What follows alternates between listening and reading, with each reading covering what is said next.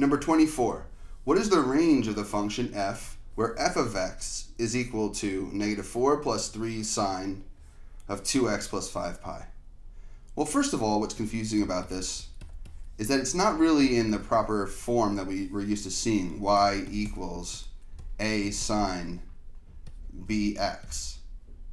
Now, if we put this 3 sine 2x plus 5 pi, and then we have the 4 being subtracted afterwards, we can see here that this is going to be a shift on the y-axis. The same way that if we have f of x, and that were to equal, we'll just say x squared, then if we took f of x plus 2, this would shift it inside the parentheses left 2.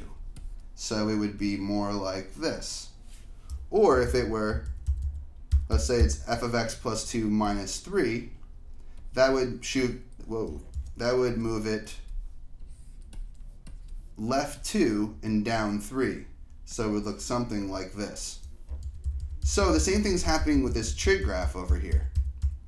The 3 tells us the amplitude, that's how high or low it goes from the center of the curve. And this is a shift here on the y, and this would be a shift on the x-axis. X-axis shift, y-axis shift, amplitude.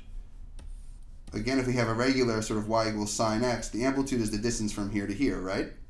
So normally this equation would go up 3 and down 3.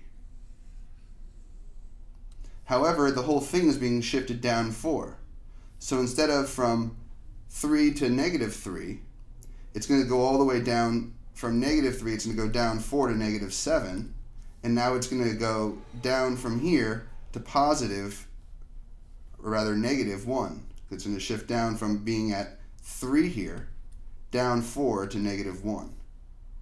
So, from negative 7 to negative 1 will be the range of this function because the range is referring to the possible y values. Now, we can put our calculator in radians and graph this. So, I'm going to go ahead and do so. By going into y equals, I'm going to choose the mode to make sure that I'm in radians, and I am. And now I'm going to go ahead and, and graph this. So here I am in y equals.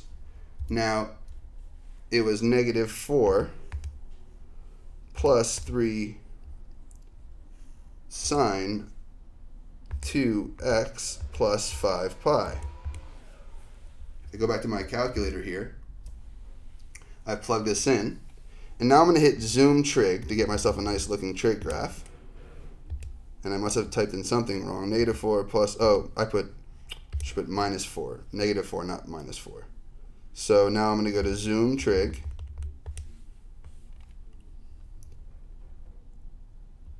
And of course I can't see the bottom of it, so I'm going to have to zoom out now. Now I can see the whole thing. And I could go right up to this graph itself and hit the trace button here. And I can see that my y values, as I go from negative 1 to negative, almost to negative 7, you can see it's going to go down to negative 7 and back up to negative 1. We could zoom in and find the, uh, the min and the max, but that's pretty dramatic and unnecessary.